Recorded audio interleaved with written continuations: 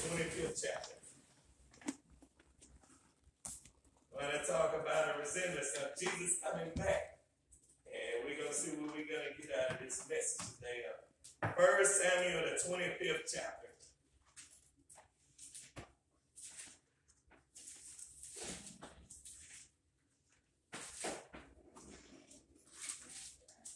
First Samuel, the 25th chapter.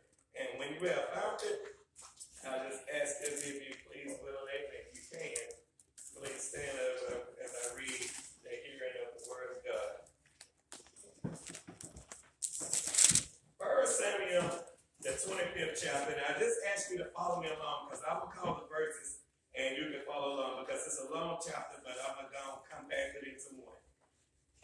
It says in verse 18, then Abigail made haste and took two hundred loaves and two bottles of wine, five sheep ready dressed, and five measures of parched corn, and a hundred clusters of raisins, and two hundred cakes of figs, and laid them on asses. And she said unto her servants, Go on before me. Behold, I come after you. But she told not her husband Nabal and it was so as she rode out on the ass that she came down by the cover of the hill, and behold, David and his men came down against her, and she met them.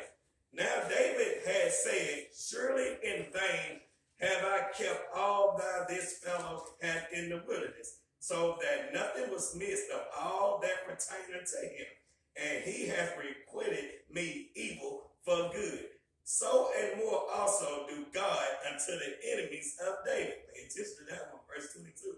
It says, I have leave all that pertain to him by the morning, like any that pisseth against the wall. Verse 23 says, And when Abigail saw David, she hasted and lighted off the ass and fell before David on her face and bowed herself to the ground and fell at his feet and said upon me, my Lord, upon me let this iniquity be, and let thy handmaid, I pray thee, speak in thy audience and hear the words of thy handmaid.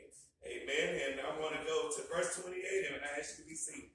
I pray thee, forgive the trespass of thy handmaid, but the Lord will certainly make a Lord for sure house, because my Lord fighteth the battles of the Lord, and evil hath not been found in all thy days. You may be seated. I want to talk about the return of Jesus Christ. Jesus said in Revelations, the 22nd chapter, Behold, I come quickly, and that my reward is with me. Scripture even also says in Acts, the first chapter, when Jesus ascended back to the heaven on the Mount of Olives, two angels right there with the disciples says, Men, why are you gazing up in the sky? And likewise have Jesus left in the same way he's going to come back. Scripture also says in Revelations, the first chapter, that the Lord is going to come, ride the clouds back down, that he's going to come, and the those, those, every eye shall see him, and those that have pierced him, and that there will be many wailing at the mouth, meaning that people is going to be shocked that they're going to see Jesus open sky and that he's going to run and he's going to come down on the cloud to bring judgment on earth. Amen. He's going to bring a close to all wickedness just with the word out of his mouth and that he's going to consume everyone with the fire that's against him. Amen. This is an illustration I want to talk about today. What's going on in this subject of text today in 1 Samuel, the 25th chapter, is that in your life, you either live it two ways, one or the other way of two ways. You either live in righteous or you live in unrighteous. You either live in holy or you even live in wickedness. You either live in modesty or you live in vanity. You either live in yourself in wisdom or you live in yourself like a fool. You have to pick and choose what you want to live your life as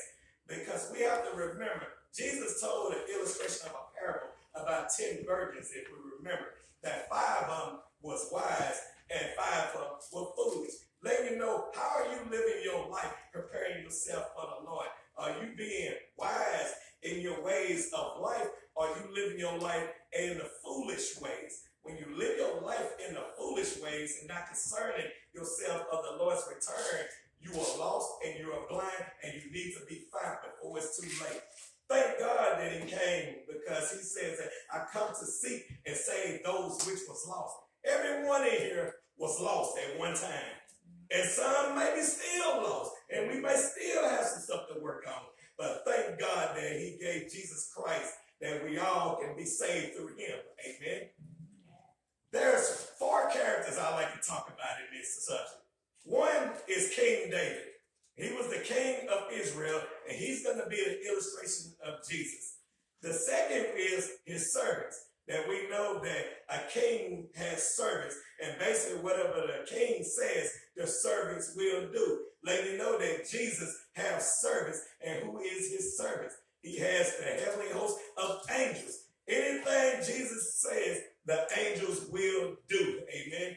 Remember, he was on the cross, and the Bible says he could have called a legion of angels to come down, but they did not do it because Jesus suffered for us that we all may be saved. Amen.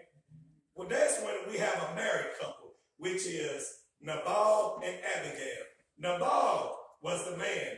The Bible says that he was churlish, meaning that he was very rude and that he was very wealthy and that he was mean in his dealings. Let you know, just because you got money you might not have sense. You can have all the money in the world, but still don't have no lick of sense whatsoever. Amen.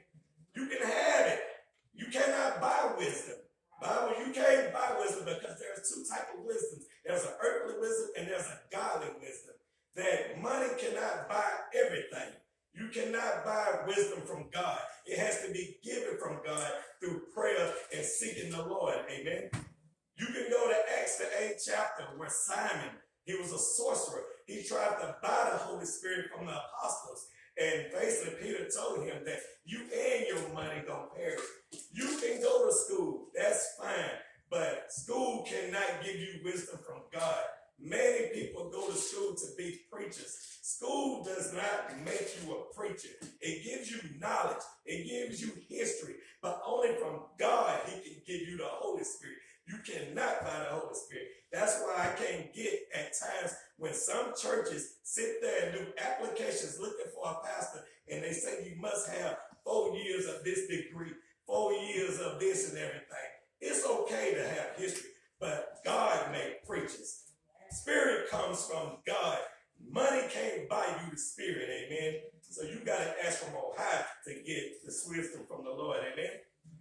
He had a wife that was named Abigail. Let me tell you about Abigail. The Bible says, I believe in verse 3 or 4, is that Abigail was beautiful in her countenance and that she had good understanding, meaning that she had good sense. That means that she was a beautiful lady and she had good sense. Now, it just makes it obvious, like, why would a couple come together when you got one food and then you got one that got sick? So you know that this relationship always have to be toxic in some sort of way. Because if you look at verse 27 in first chapter, the 20, uh, first Samuel, the 25th chapter, his name means folly. That means that his name meant a fool. So now, I don't know who would name their child a fool, but he definitely living by his name. Amen. But let me ask you something. If you took upon Christ, that means you took upon the name Jesus Christ. That means you have taken upon Christian. So if Nabal lived his name as it meant as a fool, are we living our life just as we received Jesus Christ? Uh, you see what I'm saying? That we have to live ourselves for Christ. We have to represent his name. So in this moral of this message, David was in this town called Paran in the, in the, in the village of Moab.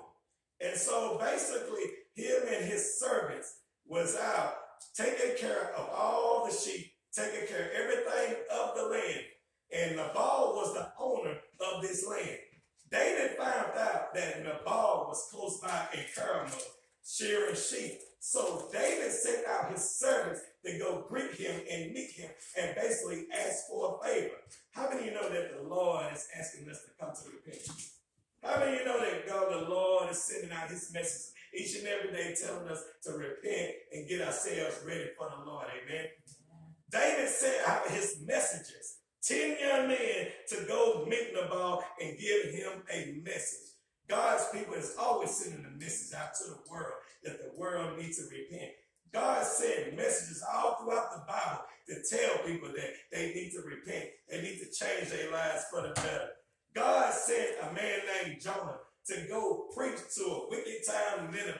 Jonah ran away from the Lord, but he got things straight after he was engulfed by a great fish and preached to that city Nineveh to come to repentance. Still to this day, people, God is sending his heavenly messages. He's sending his messages out in the world to call to the world to come back to him. Amen. He says, come back to him while he is near and call him while he can may be found. Amen. He sent this service to Nabal. Now, Nabal, remember, was churlish. He was rude, mean in his dealings. And when they came to greet him in the king's name, Nabal had a few choice words for the men. He basically told them off and said, Who is this son of um, Jesse? Who is this David? Do you know as people still today asking, Who is this Jesus? Who is this Son of God? We don't want to hear about this Jesus Christ. We don't want to hear about this Son of God. These things are still true today. People do not want to hear truth. People do not want to hear the word of God. When you reject the word of God, guess who you rejected? You rejected God. And Jesus said, if you deny me, I deny you before the Father. So do not reject the word of God. They came and greeted him in the king's name. Let's talk about the king's name right quick. When you come in the king's name, that means you come in in authority when you use the king's name. Have we all been young at one time and to our siblings or to our cousins, and you go to them and say, Your mama said this, or your daddy said this? When you say that, that means you put authority behind it because when you tell them to do something, they ain't gonna listen to you. But when you go say, Mama or daddy or grandma or grandpa said it, they gonna listen. People do it at the job all day. They'll sit there and come and say, boss man say, come do this or that. When they say that, they're using that name for authority.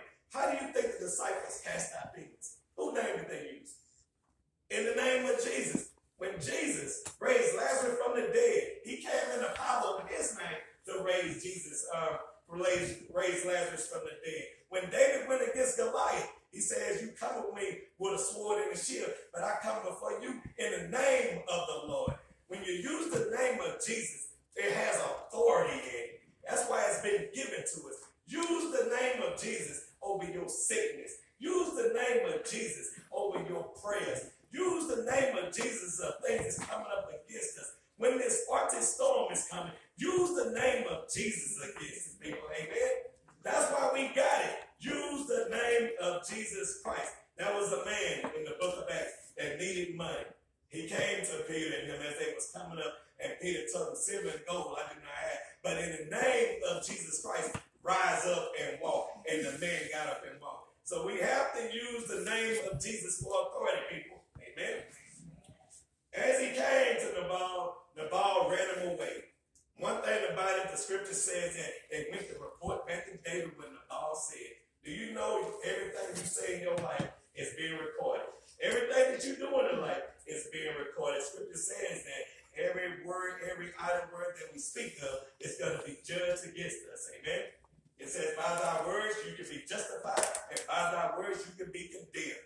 Bible is always telling us that we have to be careful how we carry ourselves. How many of you know the angels are reporting every day to the Lord?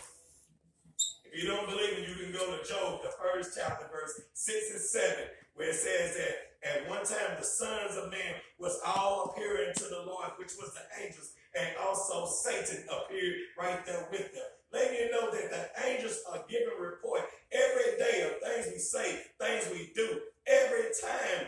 And even Satan got to give a report to God. You believe that?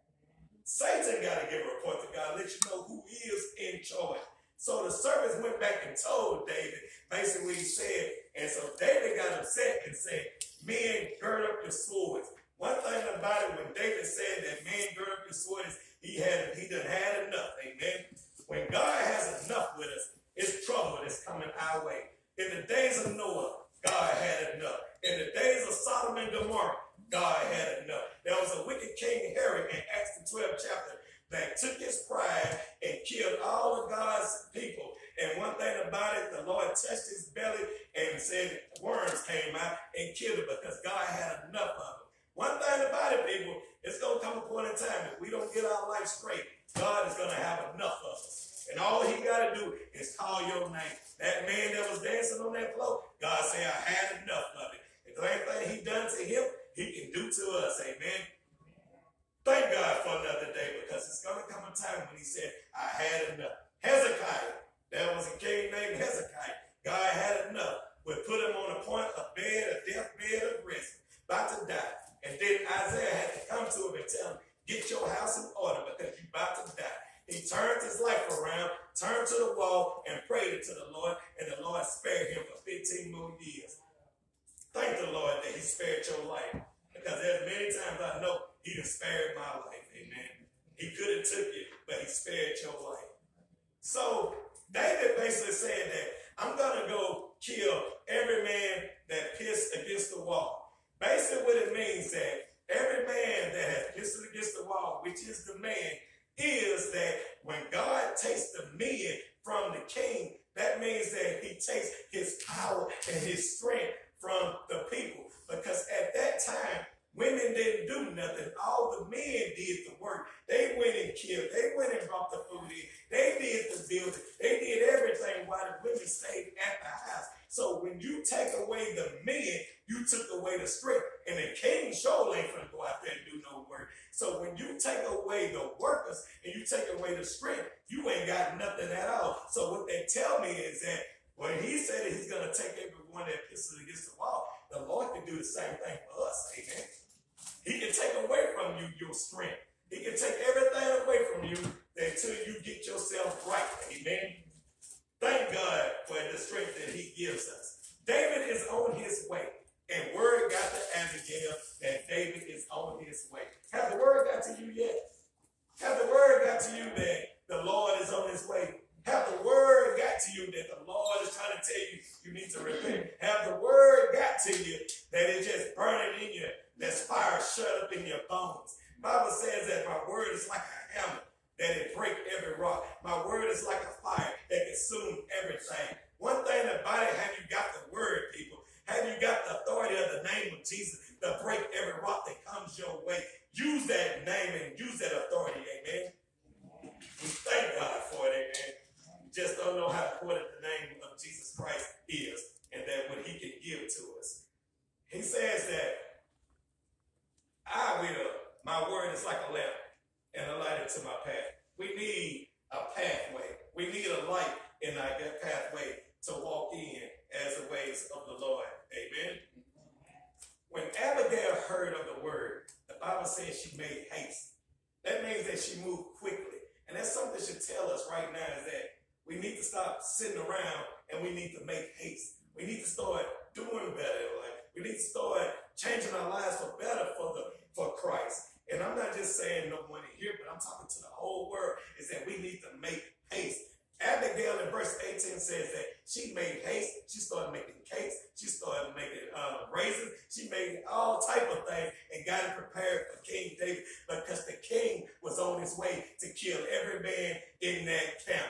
This is what I'm trying to say. If you ain't woke up yet, is that the Lord is on his way. You got to make haste. You got to get on the ball. You got to repent. You got to start praying. You got to start praising. You got to return to the Lord while you have time. Amen. Abigail got on the ass and started moving. One thing about it, I want you to notice this. Don't wait for the Lord to come meet you. You go meet the Lord himself.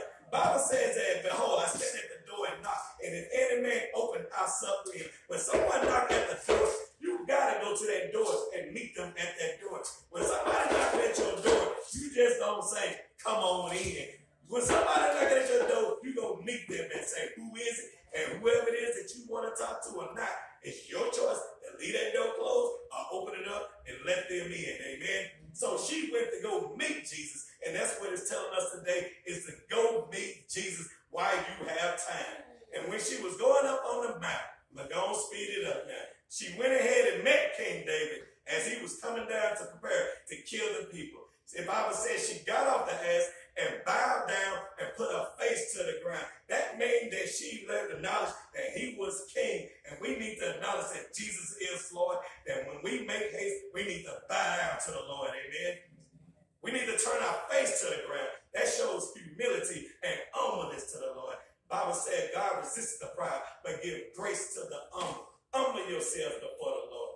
When she went to David, she went to David and asked for forgiveness. When she asked for forgiveness and presented her gifts to David, David had a change of mind. Now, what can you give God to make him change his mind? You give him yourself.